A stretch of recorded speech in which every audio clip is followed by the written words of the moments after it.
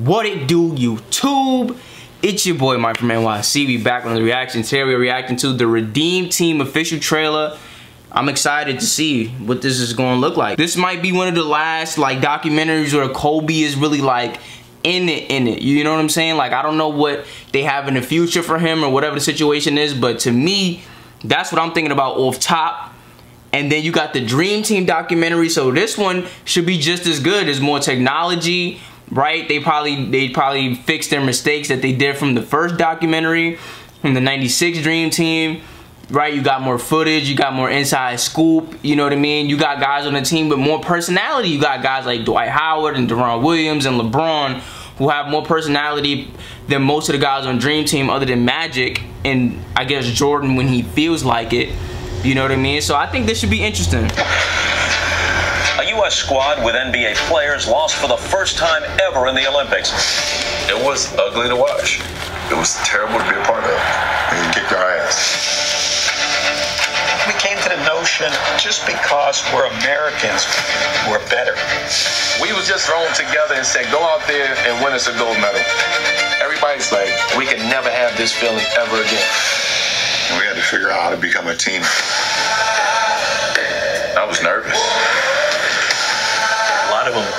Were not as great team players.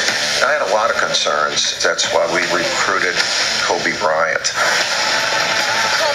If you follow basketball, then you know the nickname of this year's squad, the Redeem Team. The Redeem Team. The Redeem Team. They think they were a bunch of showboat players who's going to do the dirty work to win. I was hmm. young, but I understood what it meant to build chemistry. Because if that didn't work, there's no way in hell none of this was gonna work. Cole said, I'm tired of watching y'all lose. I'm like, I love this energy. This is what we need. Yes, sir. Give you what you came for. This is everything that we always dreamed of. Feel the rush. Feel the rush. We had a lot of things that we needed to show the world, and it wasn't just basketball. I think it just reset the standard.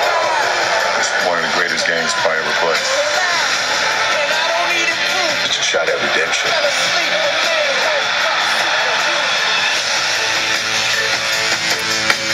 And I'm the best looking one out of the crew. So, you know, they like. Oh, nah. Alright, you know, so- Nah.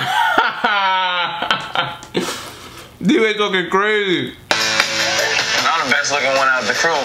So, you know, they like my bodyguards, you know what I'm saying?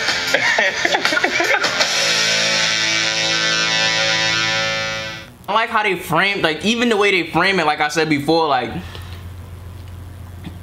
first of all, there's way more jokes and personality than in the than the Dream Team, right? You got Barkley on the Dream Team, you got Magic. Other than that, who else they had?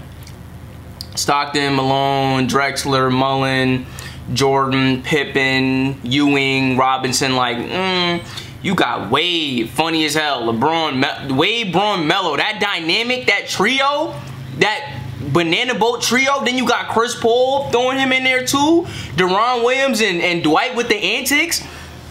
Then you got Kobe, the, the the senior men, to bring it all together. Like that shit gonna be so hilarious. That shit gonna be so lit. It's gonna be like a perfect movie. It's gonna have the funny. It's gonna have the series, It's gonna have the good untold stories. Like how many untold stories, you know, uh, you think are gonna come from that? You know.